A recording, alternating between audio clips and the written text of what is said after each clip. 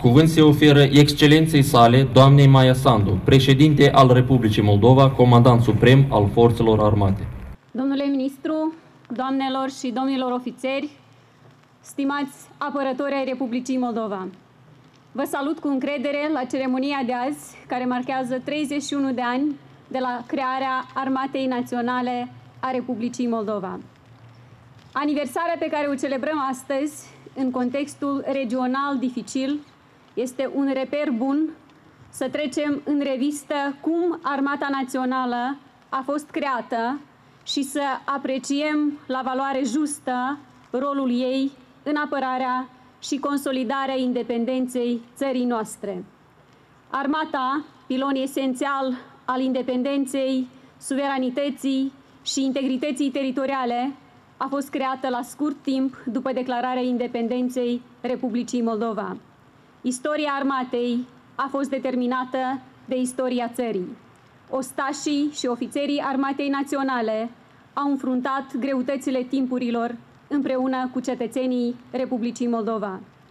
Armata a apărat integritatea teritorială a Moldovei atunci când aceasta a fost contestată în primii ani de independență. Astăzi comemorăm și onorăm sacrificiul veteranilor Armatei Naționale, al eroilor căzuți în lupta pentru independența și integritatea teritorială a țării noastre. Armata Națională a Republicii Moldova s-a profesionalizat și a înregistrat progrese importante. Un exemplu elocvent sunt geniștii moldoveni care sunt cunoscuți, apreciați și respectați în lume datorită misiunilor de pacificare internaționale la care iau parte. Dumneavoastră reprezentați Moldova onorabil în numeroase misiuni sub egida ONU și OSCE, în Europa, Africa sau în alte regiuni. Acasă, la fel, Armata Națională se bucură de încrederea cetățenilor. Fiecare dintre noi știe că putem apela la armată oricând după ajutor în cele mai dificile situații. Militarii au pus umărul de fiecare dată când țara noastră s-a ciocnit cu situații grele și complicate. Inundații, incendii, alunecări de teren, orice alte calamități naturale. De fiecare dată, armata a pus la dispoziția oamenilor echipamente de protecție, generatoare, corturi de, și bucătării de teren. Militarii au fost alături de cetățeni în timpul pandemiei COVID-19, dar și în primăvara acestui an, când în premieră în istoria Moldovei sute de mii de femei, copii și bătrâni din Ucraina s-au refugiat în țara noastră din cauza războiului, din cauza agresiunii Rusiei în Ucraina și atrocităților comise acolo. Armata este alături de oameni și se bucură de încrederea lor. Dar această încredere nu ne împiedică să vedem și problemele serioase pe care sistemul forțelor armate moldovenești trebuie să le confrunte. Sectorul de apărare a fost ignorat timp de mai mulți ani.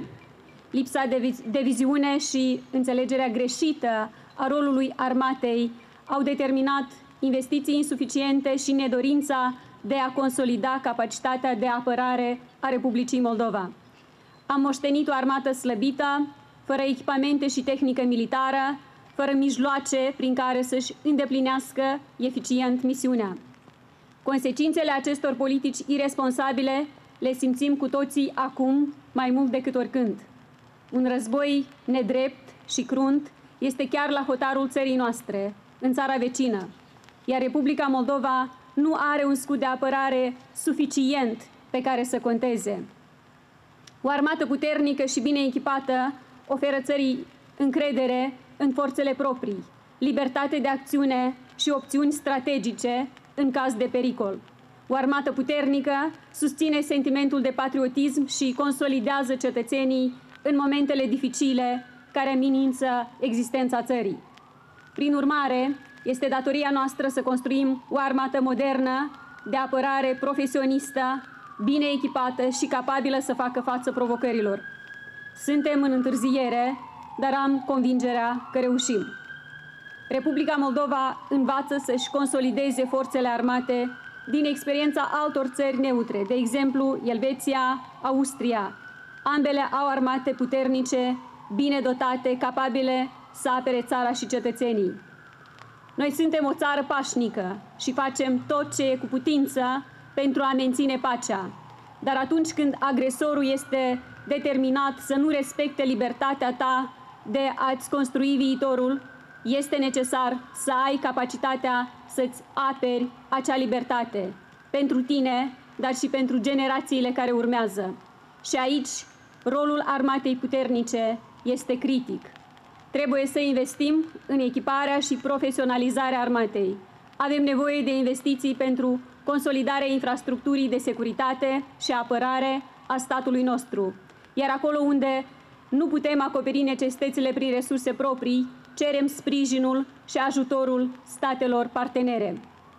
Stimați soldați și ofițeri ai Armatei Naționale, Republica Moldova trece printr-o perioadă complicată. Prin urmare, trebuie să ținem cont de lucrurile importante, să strângem rândurile, să încurajăm educația patriotică a cetățenilor, în special a tinerei generații. În acest efort, rolul militarilor este foarte important.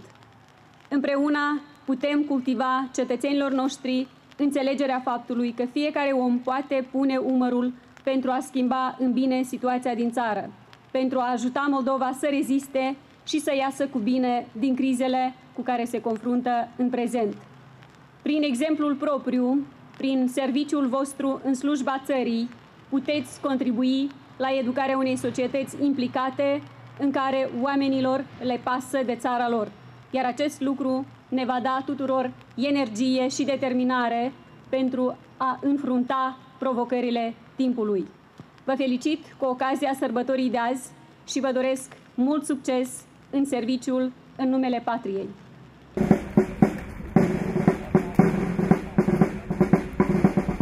Semn de apreciere a meritelor în menținerea unui grad înalt de pregătire de luptă al unităților și subunităților militare, precum și cu îndeplinirea ireproșabilă a datoriei de serviciu și contribuție la dezvoltarea sistemului național de apărare s-au conferit. Ordinul Credință Patrii, clasa 2, locotenent colonelului Sorin Bacalu.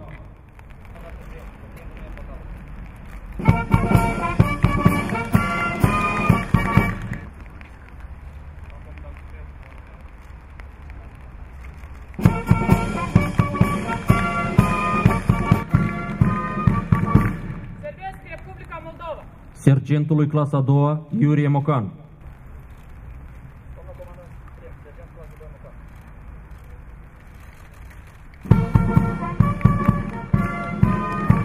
Medalia Nicolae Testemițanu, majorului medic Diana Cebotaru,